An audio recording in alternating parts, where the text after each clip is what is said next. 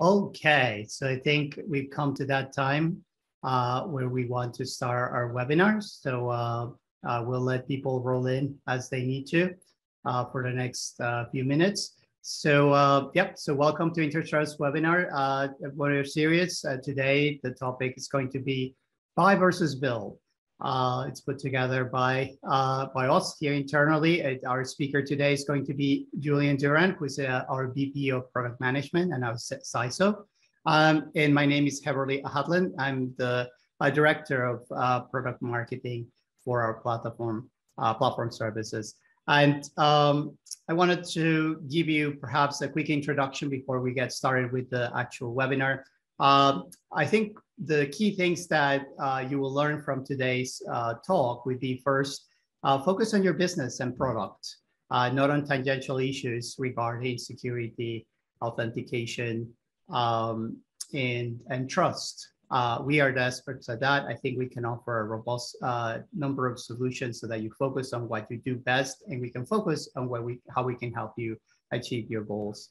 We also, I think you'll take away some information regards mitigating risks uh, consult with experts uh, like us, and because we can guide that journey for you. And finally, uh, if you have an expert ally with you, uh, you can shorten your time to market by getting appropriate guidance. So uh, uh, those are, I think, the main three things that we'll learn today. And without much further ado, Julian, take it away. Terrific. Thank you so much, Heb. Thank you for the introduction. And thank you to all of you for taking the time today to go through what I really consider to be one of the most important elements underpinning the Internet of Things, and that's the security of the systems, the endpoints, the devices, uh, the things that make up this incredible capability that's grown over the last several years. I think we all know that the number of IoT devices are growing explosively at a CAGR of 18%. There's already 14.4 billion uh, deployed today, uh, uh, according to IoT Analytics. It's an incredible number of endpoints. It's performed wonders in terms of automating our society and providing really great outcomes for us to more efficiently run manufacturing and smart grids and many, many other things. The trouble is though, that they have also been found by the hacking community. And the hacking community finds a lot of utility in taking over all these things. And the early deployments of these machines and devices has been uh, has been a little bit weak in the way the security has actually been implemented. Here's the top five gotchas, if you will. Uh, the first message really is that IoT devices make up roughly a third of infected devices today. And, and the growth rate is incredible because it was only 16% in 2019. What are you at risk at? Why do you need to secure your devices? Number one is insecure protocols. A lot of the field area networks, especially a lot of the meshes, have insecure protocols, either not up to date or the protocols themselves aren't really well designed that leads to problems like man in the middle attacks. Man in the middle attacks can have really significant implications because that man in the middle, that hacker in the middle, can intercept traffic, change traffic, completely change your vision or visuals of your operation, and do things like, as I'll talk a little bit later on about botnets, stay resident, become real advanced persistent threats as they take over many, many gateways and use those gateways to attack even more devices. So by one measure, 98% of IoT device traffic is, is insecure or insufficiently secured. Device hijacking, that's a big, big target of, of the botnets because as, as everyone probably knows, right, the botnets are are used to do many nefarious attacks. They're botnet armies. The, uh, the uh, Mirai botnet today has hundreds of thousands of devices that are at the command and control of the manager of the botnet, and they can do really significant damage in terms of distributed denial of service attacks. Uh, they could be used for brute force attacks. They could do all sorts of really nefarious, difficult things to defend against. When you come in at that volume, that number of devices, uh, it's it's really puts your system at, at risk. A lot of times there's weak encryption, insufficient key lengths, insufficient key types. Sometimes encryption is well used, but the encryption keys are left vulnerable on the devices, not properly protected. And of course, malware is just ripping through all these insecurities and making the whole IoT insecure here's some actual real world examples of, of the kind of things that happen. They're only illustrative. Uh, there are many, many, many more examples than this specifically, but I thought it would be interesting to look at four different IoT segments and look at how vulnerabilities can cause, can cause real problems. So the target attack from about eight years ago, Target uh, was breached more than 40 million uh, personally identifiable information records were breached, including credit cards and addresses and things like that. What many people don't realize is that the way the hackers got into Target wasn't through their IT system, it was through their OT system, their operational technology system, their heating, ventilating, and air conditioning system. And they used that to get over into the IT system and eventually compromise the payment terminals and cause that big breach. St. Jude has uh, been shown to have vulnerabilities in their pacemakers, believe it or not. There's also a very famous hack of, of Jeep cars, and, and it's not uh, constrained to Jeep alone. Many cars have been vulnerable to these hacks. This one in particular, uh, an attacker, and this was a, a researcher, uh, came over the Sprint network, it was a little while ago, uh, and literally took over control of a car while a test driver was actually driving it. Um, and then most recently was a colonial pipeline attack. And, and whereas it wasn't actually an OT Internet of Things attack specifically, because it's such a sensitive pipeline and serves millions of barrels of uh, of oil every single day and is incredibly important to the eastern seaboard uh, heating and other operations as well. Uh, when they were attacked by ransomware, and I'll talk a little bit more about that as we go through this, uh, they, they made the prudent decision to shut everything off because they knew that their operation technology couldn't face the further attack to go from IT to OT. And that's one of the big themes that continues to persist within the Internet of Things is this intersection between Internet Uh, information technology and operational technology. Now, the common theme across all of these things, uh, all of these attacks, is bad or missing authentication and secure communications. And that's what public key infrastructure gives you. So things aren't getting any better. In fact, things are getting worse, and they're going to continue uh, to get worse, I think, before they get better. This is uh, the most recent report from uh, Verizon's data breach report. And the, the main takeaway from this, I think, is that over in the top left, you see that primarily the motivation is organized crime. And if you look at the graph over on the right, that organized crime is increasing still at quite a dramatic clip.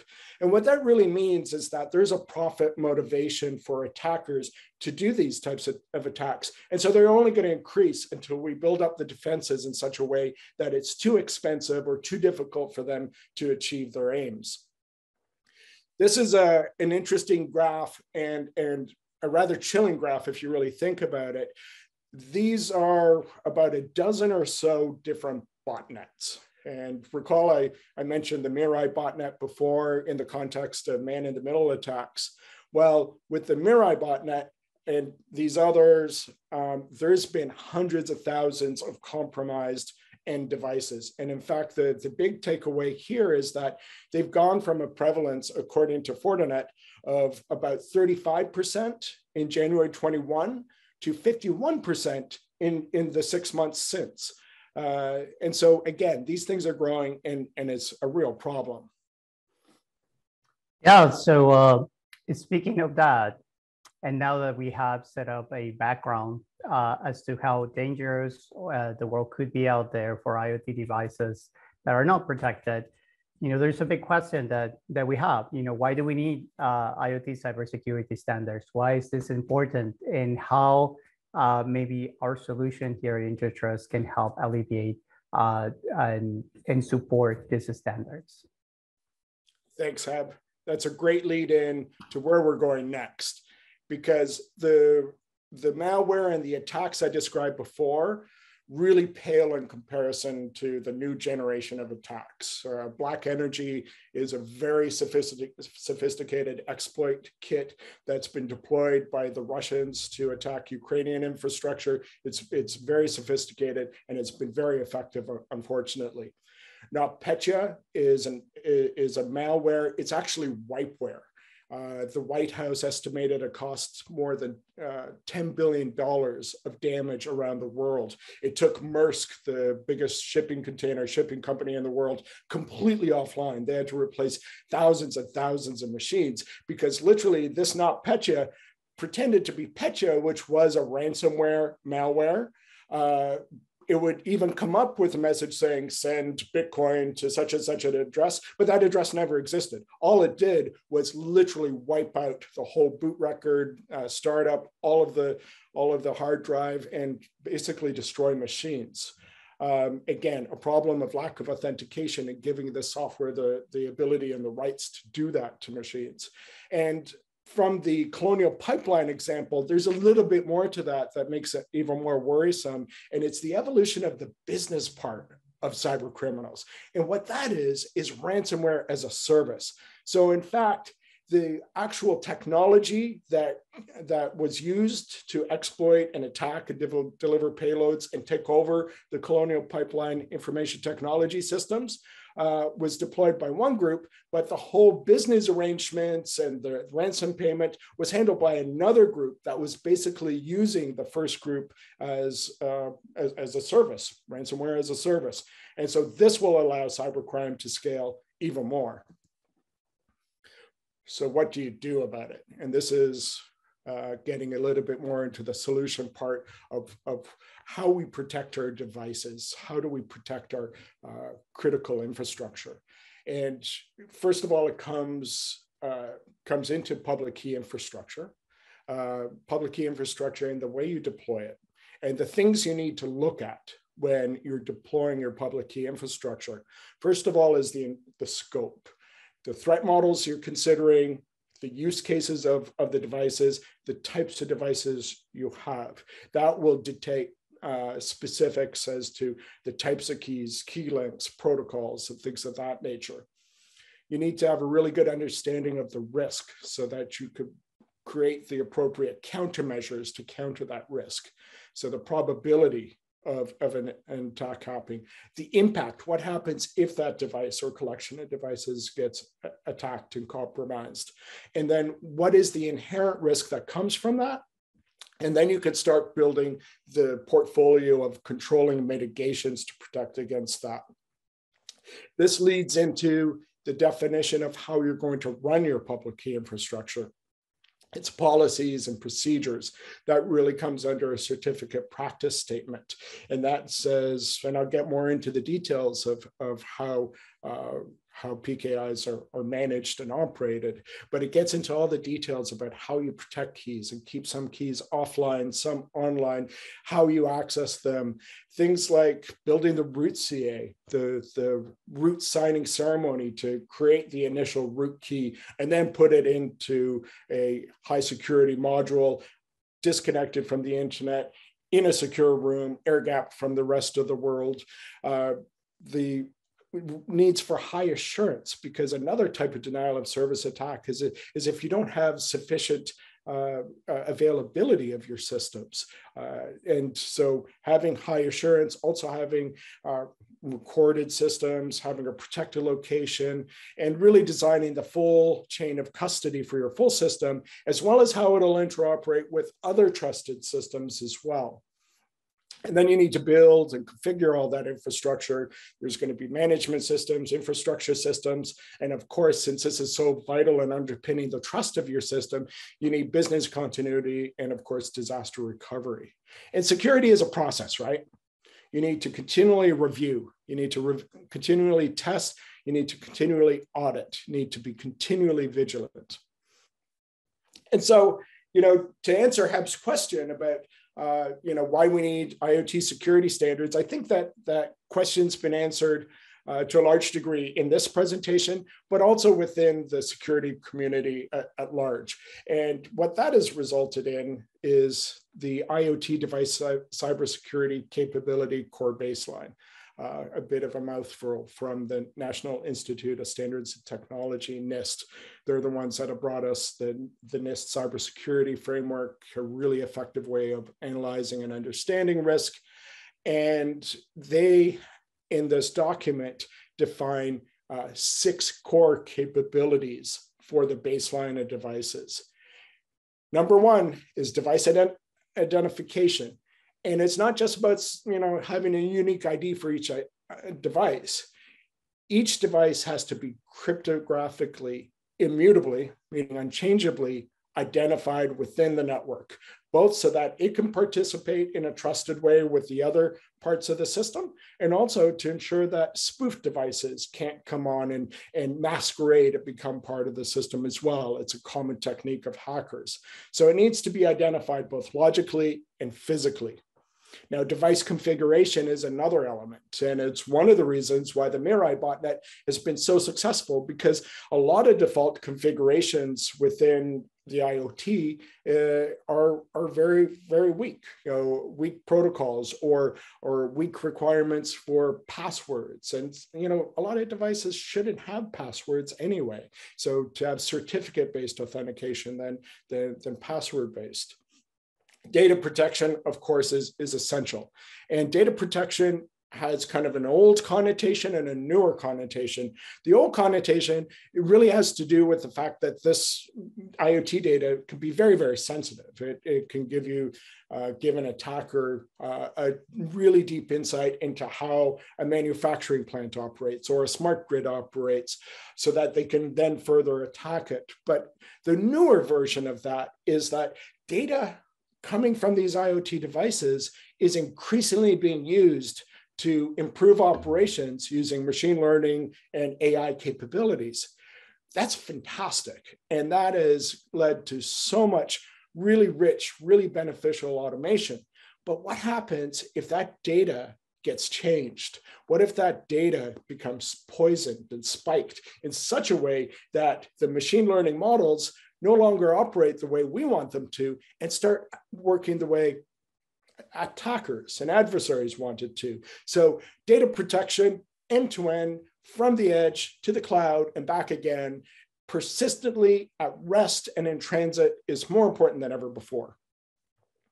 Logical access to, to interfaces, being able to access the device and install software and things of that nature. It runs into the next one as well, as software updates all software has to be signed. And what signing does, another key capability of PKI, is it ensures the authenticity of the software, where it came from, and its integrity, meaning that it hasn't changed. It hasn't changed as it's been downloaded to update the, the device. And also, when the device is rebooted, when it goes through the power on self test, it goes through and cryptographically validates that not a single bit of that software has been changed by a malicious actor. If anything has changed, the whole startup process stops and an, an alert is issued. And more generally, and this is a, a, general thing for all of our systems, IT and OT, is to, to really level up our, our cybersecurity state of awareness. So now the question is, do you do this yourself or do you go to a managed PKI? And the next couple slides, I'm going to talk about the two sides of managed PKI, the management part of it and the infrastructure part of it. So let's jump in. So the management part of the PKI really involves how you operate this key infrastructure. One of the key elements is a registration authority. So the first thing is to know what devices need to be onboarded and brought into your in, into your trusted universe. And so you need a vetting process to bring those in. It'll vary by vertical, it'll vary by application. And the thing that is in common with all of these is that there is a means by which we basically take the real world and and and, and use keys to represent them into the cyber world. And there's, there's a process around that. Speaking of process, you can't trust a process unless you trust the people. So you need to have uh, really deep background checks. You need to be able to trust the people you have, have bonded people. The, the, the operations that, that they do are critical to the trust of, of whatever system is being protected with PKI. Included in that are custody protocols. So some data is so sensitive that you can't trust it to just one person alone uh, operating them. And that includes routes, that include, includes delegated routes. And so you need a process by which uh, certain operations require two people, and in some cases, even three people. And not just people, but people that are strongly identified and authenticated and we use we use smart cards, we use biometrics to ensure that the number of people, the quorum that is needed is always present anytime you're going to do a sensitive operation on these sensitive key materials. One of the big tricks to all this, one of the difficult things to deploying PKI is securely embedding the key material into the IoT device. And what's tricky about that is that, first of all, embedded development is, is non-trivial. You need real, real specific uh, skill sets for that. Uh, a second challenge is that chipsets are so different. There's so many different types of chipsets, and they all have different security architectures. That's changing a little bit now. PSA certified uh, and an initiative from, from ARM is helping to consolidate that and make that look more common, but there's still a lot of fragmentation. So having the ability to do embedded crypto development is critical. Um, part of all of this, of course, is the significant upfront capex uh, for the hardware, the software, the systems, the web trust uh, certification. Um, web trust certification ensures that what you write in your certificate practice statement, how you're going to do all these things that I've been talking about, are actually done. Auditors come in every year and they go line by line and ensure all these things are done. So if you're looking at an outsourced PKI solution, you need to ensure that it's web trust certified so you can trust it. There's a number of other things, you know, auto renewal of short-lived certificates. That's become more and more important in recent years.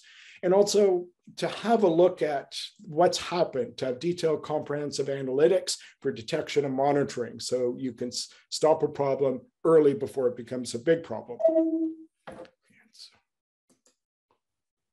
So the infrastructure part of, of PKI is important too. And that's what I was alluding to a little bit in the previous slide. Uh, you need to have 24 by 7 by 367 365 operations because attackers don't sleep and you need that availability so that your devices continue to operate. And so part of that is to ensure that you have multi-region disaster recovery for business continuity, because you always have to anticipate when this is mission critical that something could happen, an earthquake or tornado, etc. You need to have regional diversity to protect yourself against that. To get into the system, you need to have modern means by which you can uh, securely identify people, and we use badges with secure cards, uh, biometric authentication. The, the sensitive operations need to be run in an air gapped and tempest shielded secure room. And of course, ventilating and air, air conditioning, all those you know, regular data operations are really critical as well.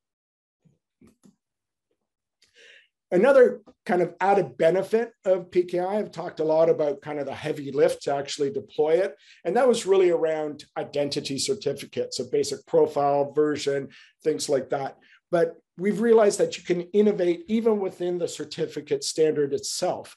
And a merger of both the XML of an X509v3 certificate that allows extensions with security assertion markup language, SAML, uh, allows you to do a lot more creative things while maintaining good security and rich personality really offers more capability securely at the edge.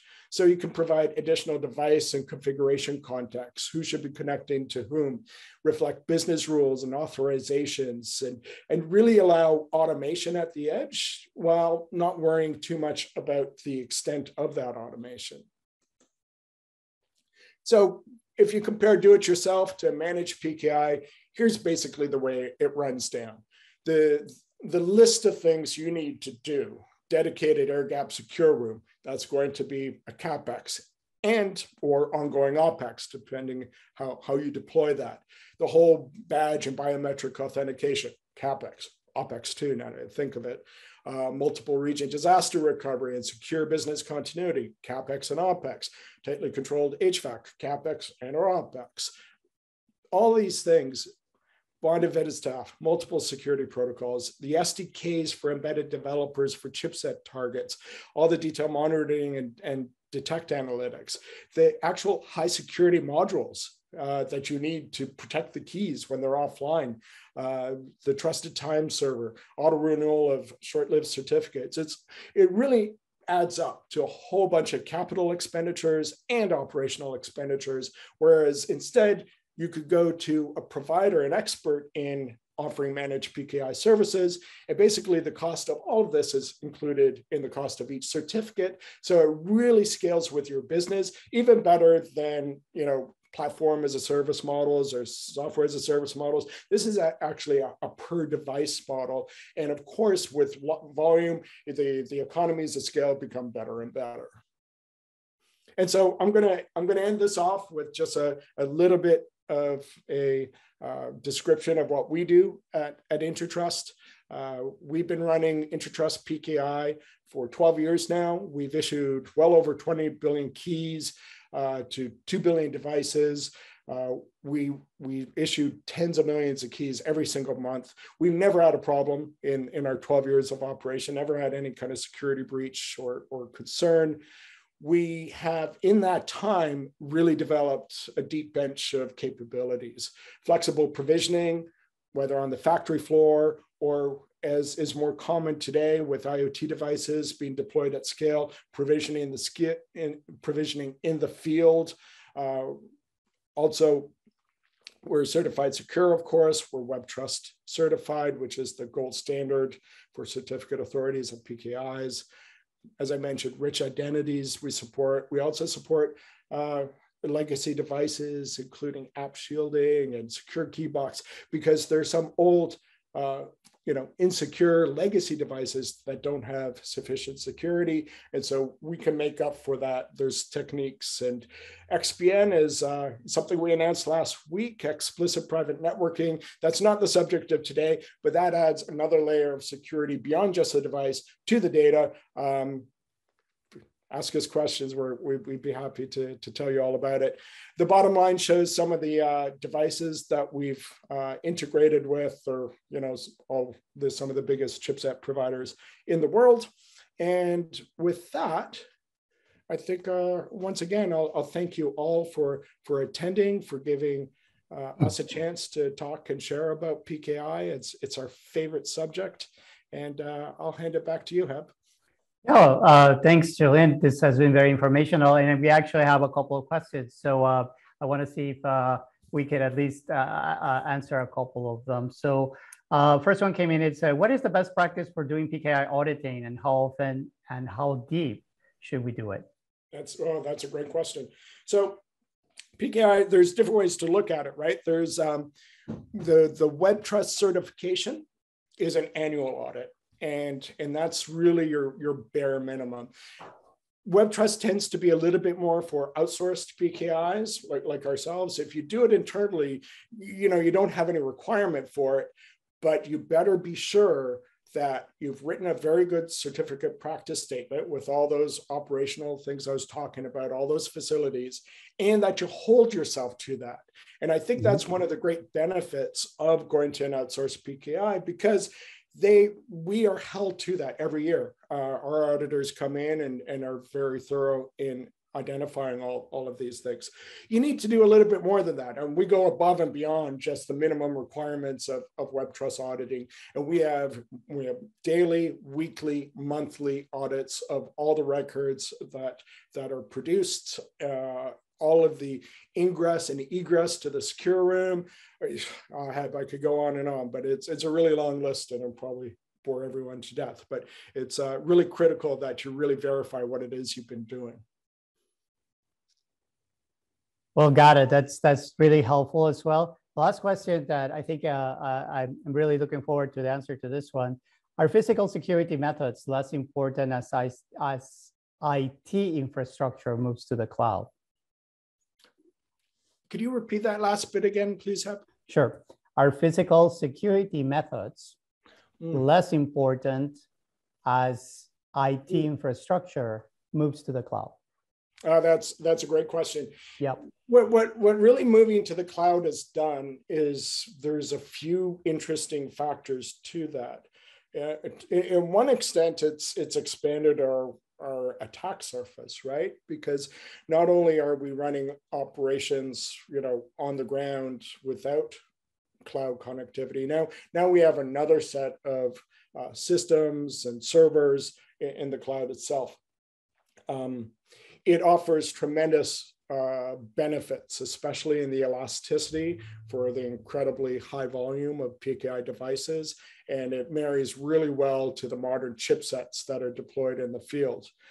You have to be really careful and specific about it. And when you get to uh, hardware security uh, measures, uh, physical security measures, you need to have a root of trust somewhere, right? And so to have to have roots in the cloud, I wouldn't feel very comfortable about that. Although, of course, AWS, Azure, Google Cloud have done tremendous a tremendous job of securing those infrastructures. Still, it's not as secure as an air gapped room, Tempest shielded room, uh, your root key in a high security module, completely connect disconnected from the internet. Um, you need that as your root of trust and then and then you can have delegate keys in the cloud and the delegate keys can take advantage of all the elasticity and scaling and if there is ever a concern you have means by which you can revoke and remediate that aren't overly aren't overly painful you won't have your root of trust uh, compromised